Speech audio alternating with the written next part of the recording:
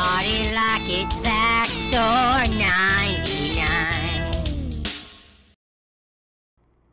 Alright, hello everybody, this is Zaxtor99. Today, while driving with my 13 year old daughter, we had the oddest conversation where my mind was uh, definitely uh, not where hers was, but it created a pretty funny conversation. Let's go ahead and listen in.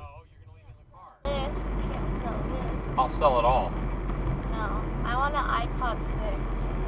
Is iPod 5. You don't need an iPod, The iPod iPod 6 doesn't have this or this. You don't need the newest model to be cool.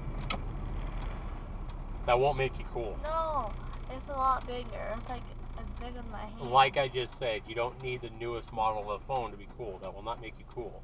Only you can make you cool. Yeah. Seriously. I want it because it's bigger.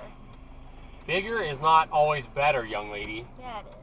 No, bigger is not always better. Yeah, Damn it! Bigger's not better. Yeah, it is. No, it's not. Don't tell me bigger is better. The iPhone 4 is shorter than my iPhone. Like right here. Shorter is better. No, the iPhone 6 Plus is like right up here. No, I don't want to see how big it is.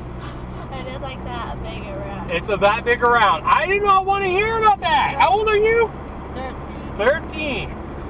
Bigger's not better, young lady. Yeah, it is. No, it's not. The iPhone, the iPod 1 is like that small. Some things are better smaller. Yeah, right. Yeah, right?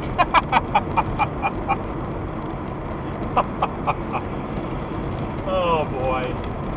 Oh, Do I make you laugh? yes, you make me laugh. oh, my gosh. You're weird. Yeah, you are. I'm weird? Yeah, I can you think shorter better?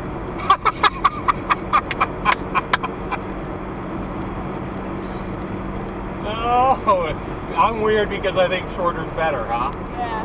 One day you'll understand, young lady. Well, maybe you won't.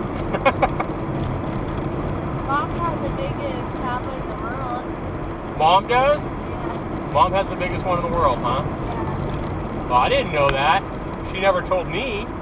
She told me. She told you all, about how big it is. and all the people in the world agree. Or did you just see it and was like, oh, okay, well, that's big? She didn't tell you, oh my god, mine's so big, right? No. They said on the internet that we have the world's biggest tablet. Oh, yeah? Wow. I am so wrong. You have the world's smallest phone. I am so wrong. Oh my god. I have the smallest what? Phone in the whole entire world. I don't have the smallest It's phone in the world. It's not, it's not small. Huh? You have to go like this. oh my god. Nothing is that small. yeah, it is. I couldn't even see how big that was. You had your you had your thumb and your finger touching each other. Yep. That small, huh? Yeah. And you had to use the little tiny bug uh, to push the button. Oh my god! Shut up, young lady. You don't even know what you're saying. yeah, I am. You don't even know what you're saying, trust me. I You do. have no idea what you're saying.